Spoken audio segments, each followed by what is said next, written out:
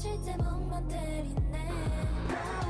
내 지시한 얘기에도 많이 웃어주고 사실 이 뭔지를 말 안 해도 네가 알아주긴 한다.